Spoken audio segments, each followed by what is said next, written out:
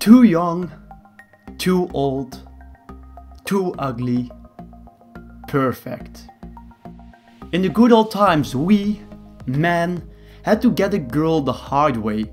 We had to find a castle, kill a dragon, try not to get killed by the plague, walk up all the way into the tower and take her home.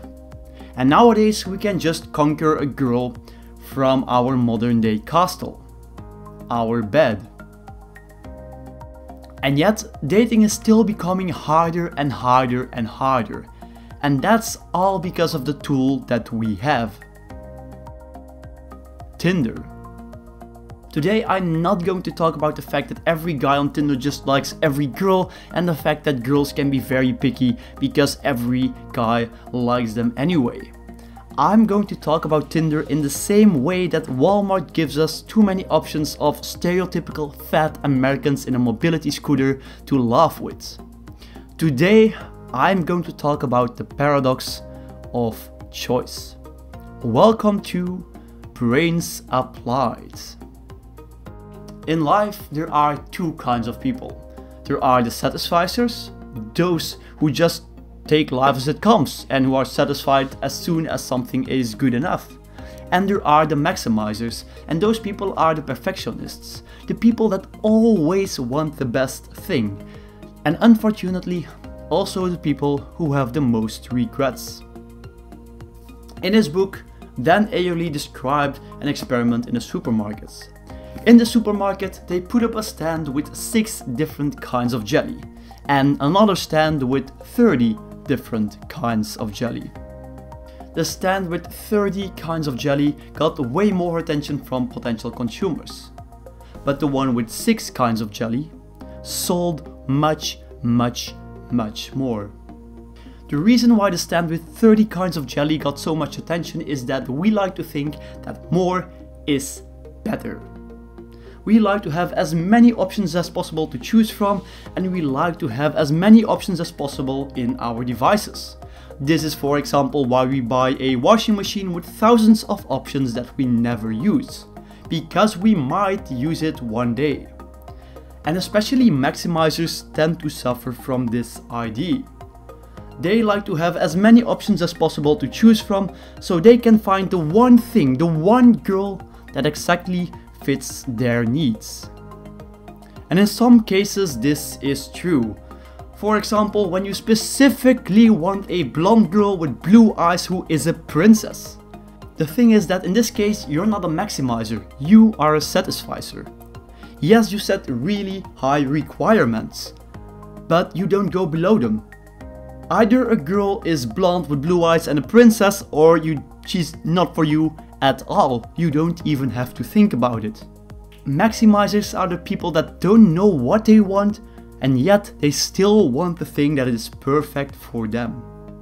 The more options we have, the more we, and especially maximizers, start to overthink things. And the more we overthink, the more we start to think how we might like that girl, but also that one, and also that one. And this is the problem. As soon as you start overthinking, you start thinking about how you might enjoy multiple girls and you can choose. You don't want to go all in on one girl because you might regret not having another girl. And in case you're just buying jelly, it's fine, you can buy multiple kinds of jelly. But unless you are a rich oil dude from Saudi Arabia, you are probably not able to buy multiple wives because of a very simple reason. The first wife might not like the other ones, and you probably don't have enough camels to buy them anyway. As we have so many options, we start doubting more and more and more, and we might even start to date girls that are totally not our type. And whereas we just used to date one mademoiselle in the past, we now need to spread our attention simultaneously over different persons and this is way more exhausting and it will decrease our motivation to just invest time in one proper decent person. And when we finally make the big decision, we value the things that we have less. We start doubting about how the other girl might have been more fun anyway. Or we start thinking about how we might not have even met our one true love.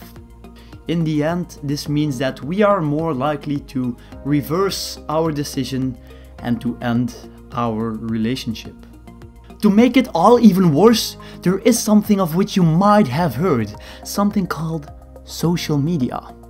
And on social media, everyone posts pictures of their perfect partner and their perfect relationship, hashtag relationship goals. And this raises our expectations. And as we become pickier and pickier and have higher and higher and higher expectations, this is very likely to result in disappointment. Because maximizers tend to doubt more about their decisions, their life, and their relationships, they are more likely to suffer from regrets and they are more likely to have lower self esteem. And this inevitably leads to being less happy, being less optimistic, and having higher chances of becoming depressed. The one thing that we can do is to realize that the perfect boyfriend or the perfect girlfriend doesn't exist, that they will always have flaws, and that we shouldn't look for the best person out there because there isn't any best person. You might meet some people in your life with whom it doesn't work out, but if you always keep looking, if you always keep searching, it will never ever work out. And that, my friends, is all I wanted to tell you today. I hope you liked this video. If you did, press the like button. And of course, as always, don't forget to hit the subscribe button and the notification bell so you receive a 100% free notification next time when I upload a new video. And I will see you guys later.